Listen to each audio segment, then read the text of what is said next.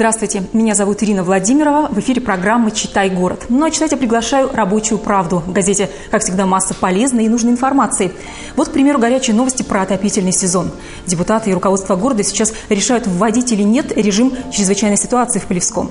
Южная котельная и сети до сих пор не готовы к запуску тепла.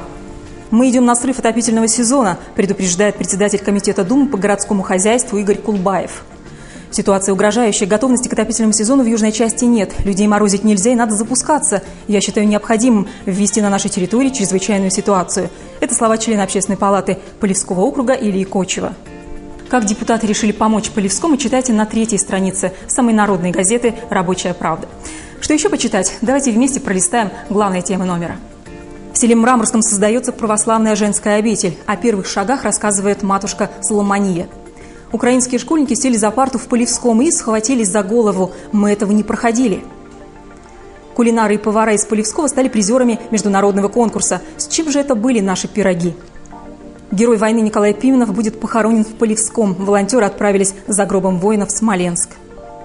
Полевской перешел в режим экономии. Уличные фонари теперь выключают на всю ночь. Письмо от наблюдательного горожанина. На некоторых темах остановлюсь чуть подробнее. 23 украинских школьника начали новый учебный год в Полевском. Достаточно было нескольких дней за партой, чтобы понять, они оказались в сложной ситуации. Когда я перешел в девятый класс здесь, в России, посмотрел учебники, пообщался с учителями и одноклассниками, понял, мы в Украине этого не проходили. Мне очень сложно сейчас по физике, математике, химии. Такое признание сделал ученик школы номер 20 Сергей, приехавший из Донецкой области.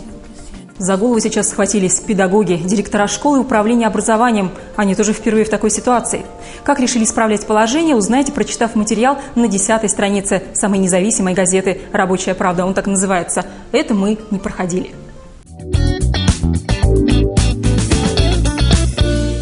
Наконец-то решился вопрос о захоронении солдата Великой Отечественной войны полевчанина Николая Пименова. Помочь родственникам принять единственное, на наш взгляд, правильное решение помогли вы, уважаемые читатели. Спасибо за звонки и участие. Николай Пименов будет похоронен на родине в Полевском. Ну а в данный момент двое волонтеров отправились в Смоленск за гробом Николая Пименова, и они держат нас в курсе всего происходящего.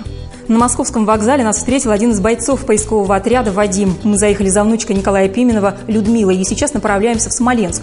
Везем с собой все журналистские принадлежности от блокнота до фотоаппарата, так что читателям «Рабочей правды» расскажем о поездке во всех подробностях.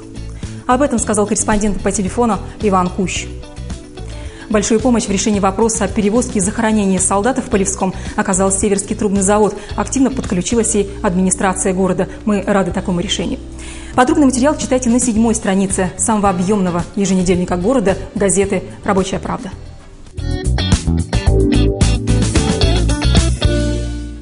Кулинары и повара из Управления рабочего снабжения Северского трубного завода привезли победу с международного конкурса, боролись в четырех номинациях. Вот что нам рассказали очевидцы.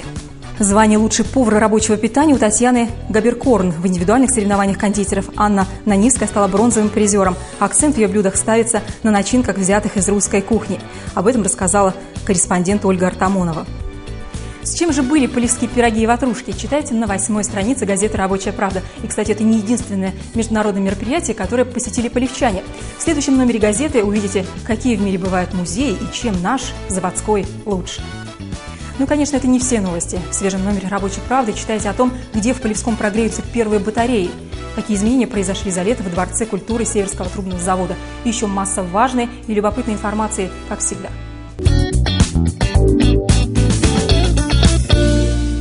Будьте в курсе событий из газеты «Рабочая правда». Но если хотите получать новости первыми с доставкой на дом, оформите подписку. Адреса и телефон сейчас у вас на экране. И не забывайте, каждый подписчик «Рабочей правды» бесплатно получает газету «Северский рабочий».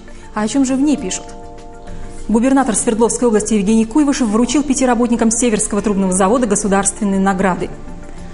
В замкнутом цикле производства начало работать оборудование нового блока очистных сооружений непрерывного стана. Стоки утилизируются на финишных очистных сооружениях и не попадают в реку Северушку. Газета «Северский рабочий» сменила адрес, переехав в здание научно-исследовательского центра завода. Вместе с мебелью и компьютерами прибыл и бесценный архив заводского издания объемом 60 томов. Главные новости города и завода подписчикам приходят одновременно.